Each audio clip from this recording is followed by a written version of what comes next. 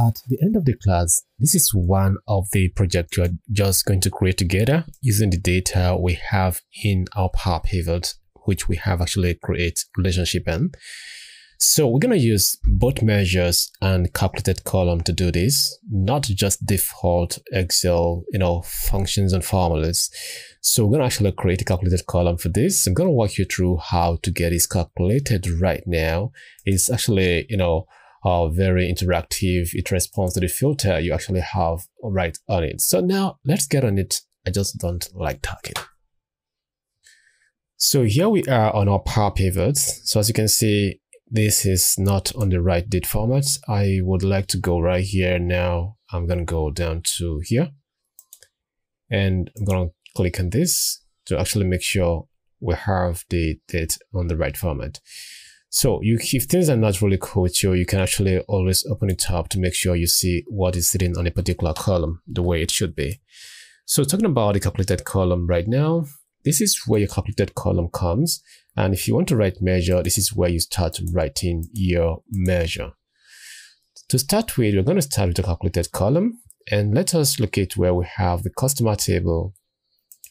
So here we have a customer table. I'm going to illustrate to you what calculated column is right here on the customer table.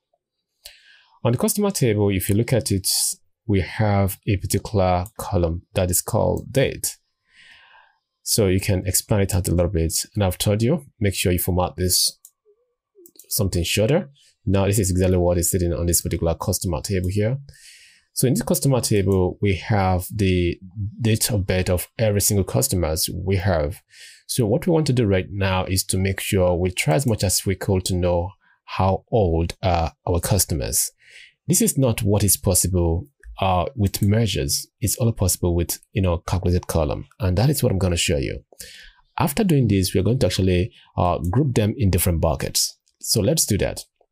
So the first thing you do when you want to do this is to try to know what is the name of your column that you want to use to actually get this particular new column you want to insert. So coming right here, make sure you click on this empty column right here. So now we're going to come here and type in our equal to, and we're going to use a function called date. Once you just type in date, it's going to give you all the function that has to do with date. So now you can see we have date diff. Date diff now is going to actually help you to differentiate between, okay, to actually calculate something between two dates. Now, what we want to do now is just a simple arithmetic you do using your phone calculator or normal calculator. You want to check how old you are. Maybe uh, your date of birth is 1999. So you have to subtract 2000 from 1999 to get your age if we are in the year 2000. Now that we are in the year 2023, you are going to subtract 2023 from 1999 or whatever. So now we're going to do that right here as well. So top key to actually commit this.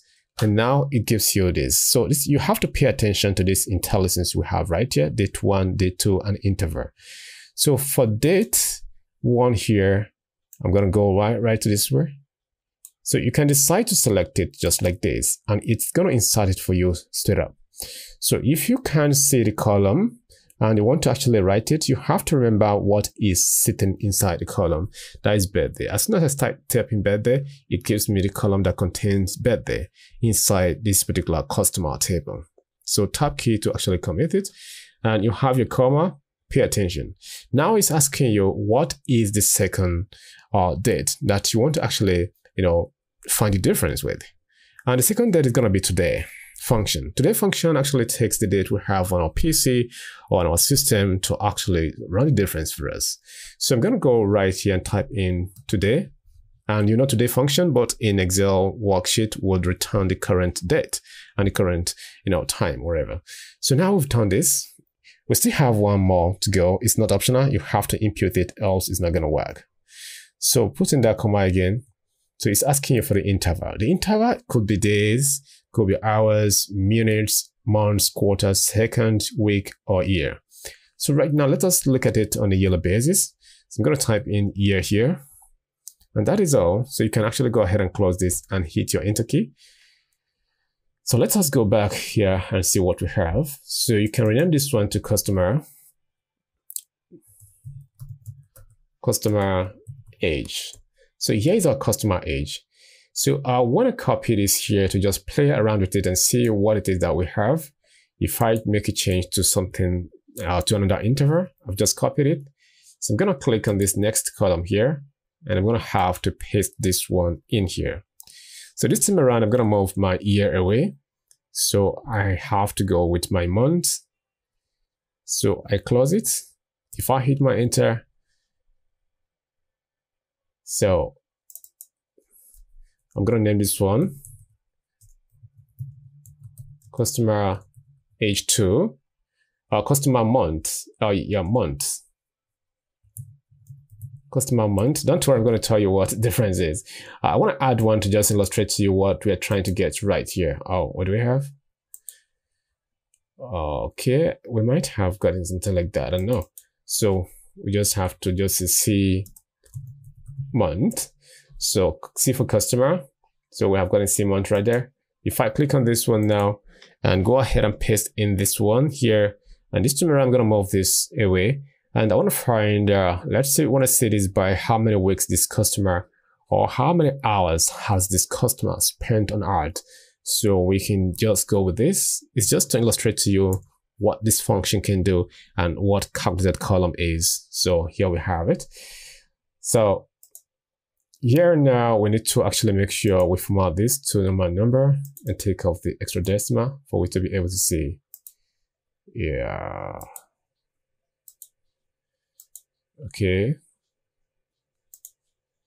Okay, nicely done. So if you look at it right now, this customer is actually 20, you know, three years old. This customer is 60 years old, 16, 58 years old. If you want to know that right now, what you can do is just to come right here. Now, so here, this customer in column, in uh, in this particular column here, in uh, row four is 1965. So if you want to know 1965, if you want to know if this is correct, it's giving you 58, you can always go to your calculator and type in uh, the current year we are we are right now, or you can actually run it on your, it depends on when you actually pick this course. So I'm going to say 20, uh, 23 here, subtracted from 1960 what? We just have to be sure of what we are getting to Okay, that is going to be 1965. So we go back here, 1965. So it gives us 58 years, right? So if I come back here now, it's giving me 58 years. So which means this particular customer had spent 695 months on this planet. And let us look at how many, you know, if we click on this one now, how many hours has this particular customer spent on that? That is over, you know, of 507,888, you know, hours on this planet. So you can see what calculated column can do and what DAX can do. This is just a simple DAX on how to add calculated column. Uh, actually, we are not actually interested in this. I just want to show you and as well show you again how to actually remove any of those particular columns you've created that you don't want. So we don't want this. I'm going to go ahead and remove it. So what you can do now is to delete column and click on years. And that actually gets the column off for you. So get rid of this, delete column, and we'll click on years. So we want to further create another column from this particular column, uh, column right here, where we actually create age, you know, buckets for our customers to know which particular age bucket is, you know, giving us the, you know, uh, making us to have the uh, uh, the desired sales in every month, profit, and you know, uh, giving us giving us more revenue. So you've just seen how to add calculated column right now. This is just one example. We're going to be doing many examples for you to just get the idea of what calculated column is. It has no different with the one we have in Power BI. This is just how it goes.